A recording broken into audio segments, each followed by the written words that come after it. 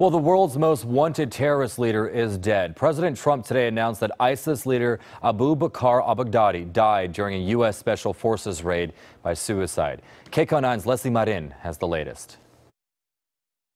Abu Bakr al-Baghdadi is dead. President Trump announced the violent death of the ISIS leader in a U.S. Special Forces-led raid on his hideout in northern Syria. He died like a dog. He died like a coward. The world is now a much safer place.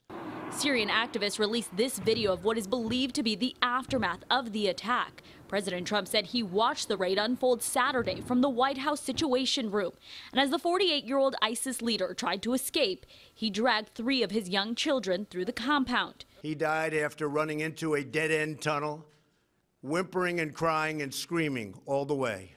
He ignited his vest, killing himself and the three children. The president said no U.S. personnel were killed in the operation, while a number of al Baghdadi's fighters died in the battle. Administration officials say a combination of visual evidence and DNA tests confirmed al Baghdadi's identity. The ISIS leader's death comes after the president faced bipartisan criticism for his decision to pull U.S. troops out of Syria.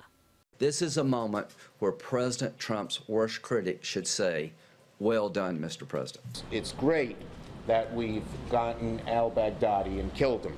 He's a dangerous man, an evil man. The fight against ISIS has to continue. The president said al-Baghdadi's death demonstrates his commitment to the, quote, enduring and total defeat of ISIS. President Trump said he didn't notify some of the members of Congress ahead of the raid because he thought it would maybe jeopardize the mission. The operation was named after one of al Baghdadi's American victims, Kayla Mueller. In studio, Lesley Marin, KCAL 9 News.